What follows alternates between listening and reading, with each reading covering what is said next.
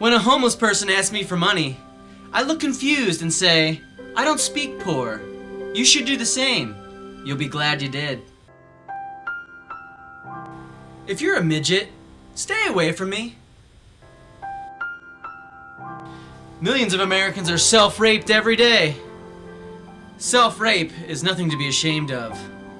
I think it feels good. If you're contemplating suicide, don't be wishy-washy.